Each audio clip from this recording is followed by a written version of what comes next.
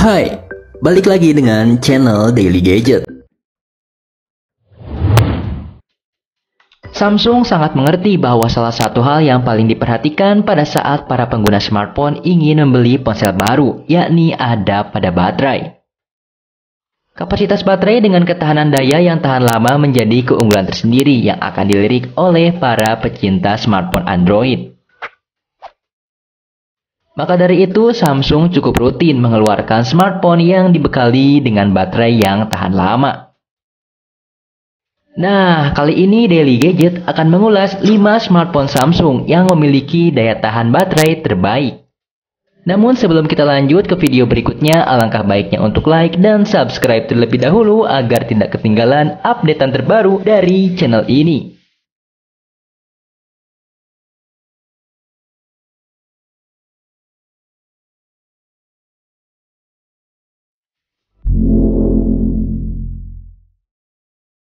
Samsung Galaxy M11 Menggunakan layar luas Infinity O beresolusi HD Plus TFT dengan bentang layar 6,4 inci. Layar seukuran ini pastinya akan terasa cukup lapang dalam menampilkan berbagai konten seperti saat menonton video YouTube. Didukung dengan resolusi layar HD membuat gambar atau video yang tampil di layar terlihat tajam. Kemudian untuk tampilan layar aktif pada smartphone ini terlihat membulat di setiap bagian ujungnya yang menyesuaikan dengan bentuk bodi perangkat. Pada bagian ujung atas sebelah kiri. Selain itu, salah satu keunggulan perangkat ini adalah kekuatan daya tahan baterai yang diusungnya, sehingga disebut sebagai sobat anti lowbat. Baterai berkapasitas 5000 mAh akan menemani aktivitas penggunanya dalam beraktivitas mobile. Untuk urusan performa, Galaxy M11 ditenagai dengan prosesor Snapdragon 450 octa-core 1,8 GHz serta disokong RAM 3GB dan memori internal 32 GB. Kamu bisa mendapatkan smartphone ini dengan harga 1,7 juta rupiah.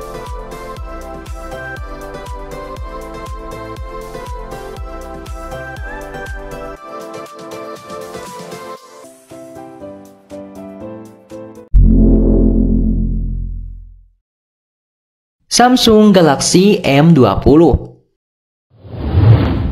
Kelahiran Galaxy M20 menjadi pembuktian Samsung bahwa mereka masih cukup gesit di tengah serbuan ponsel pesaing.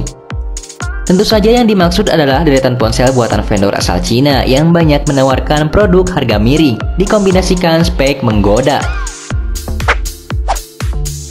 Produk pesaing itu terutama membanjiri pasar kelas menengah dan ternyata tak sedikit diminati orang. Samsung mendadak mengeluarkan seri Galaxy M, ponsel menengah mereka yang berbeda. Ponsel yang banyak dinilai khusus dibuat Samsung demi menangkal para rival. Berbekal prosesor Exynos 7904 octa-core yang dipadukan RAM 3GB dan memori internal yang dapat diekspansi. Beralih ke baterai yang menjadi salah satu keunggulan utama Galaxy M20, yaitu kapasitas besar 5000 mAh yang lebih tinggi dibanding beberapa smartphone di segmennya. HP Samsung Galaxy M20 bisa kamu dapatkan dengan harga 2,1 juta rupiah.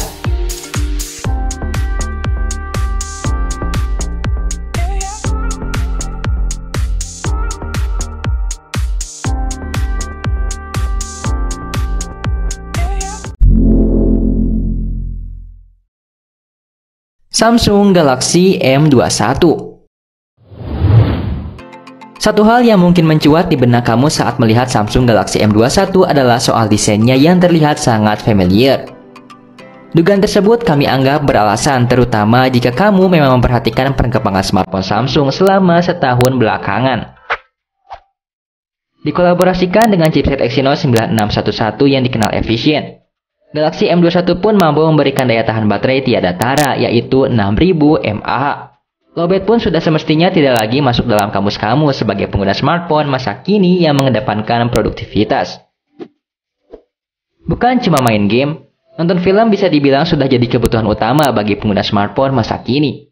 Apalagi dengan menjamurnya aplikasi-aplikasi streaming yang membuat pabrikan smartphone mau tak mau harus berbenah untuk memberikan pengalaman visual terbaik.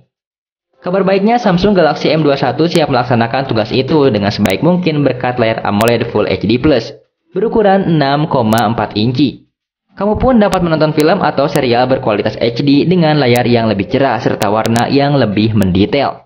Kamu bisa mendapatkan Samsung Galaxy M21 dengan harga 2,7 juta rupiah untuk varian RAM 4GB dan memori internal 64GB.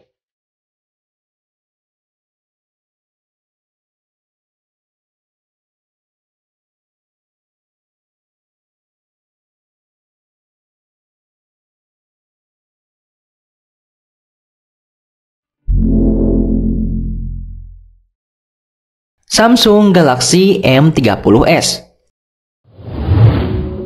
Smartphone yang satu ini mempunyai keunggulan pada baterai jumbonya yang mencapai 6000 mAh. Selain itu, Samsung mengklaim bahwa pengisian daya baterainya dapat berjalan cukup cepat berkat kehadiran fitur 15 watt fast charging. Untuk menekan harganya menjadi terjangkau, Galaxy M30s menggunakan bodi berbahan plastik Meskipun begitu, ketebalan smartphone ini hanya mencapai 8,9 mm. Berbeda dengan smartphone di masa lalu yang mempunyai bodi tebal karena baterai dengan kapasitas jumbo biasanya memiliki ukuran besar. Hadir dengan layar 6,4 inci serta resolusi Full HD Plus 2340 x 1080 pixel dan tingkat kecerahan hingga 420 nits. Teknologi Super AMOLED yang hadir pada layarnya mampu menampilkan konten dengan terang dan tajam, Sementara untuk urusan chipset, Galaxy M30s dibekali dengan Exynos 9622 octa-core dan AI Game Booster. Cukup berperan dalam menghadirkan performa yang baik ketika menjalankan beberapa game populer. Kamu bisa mendapatkan smartphone ini dengan harga 2,5 juta rupiah untuk varian RAM 4GB dan memori internal 64GB.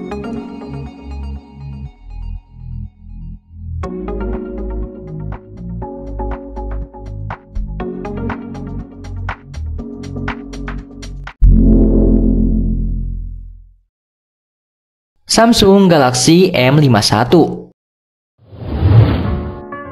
Yang sedikit mencolok pada desain Galaxy M51 tentunya ada pada ketebalan bodi perangkat karena mengusung baterai berkapasitas sangat besar yakni 7000 mAh. Bodi perangkat menjadi lebih tebal yaitu mencapai 9,5 mm.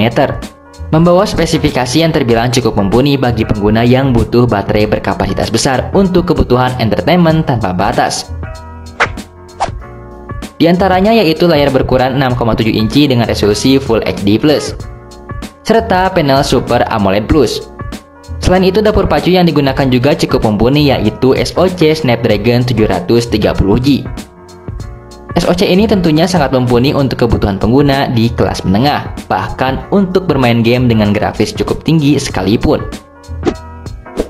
Adapun untuk perangkat yang dijual di Indonesia ini memiliki RAM kapasitas 8GB serta internal storage 128GB. Untuk penyimpanan tambahan, pengguna juga masih bisa menyematkan microSD melalui slot yang tersedia. Kamu bisa mendapatkan Samsung Galaxy M51 dengan harga 5,2 juta rupiah.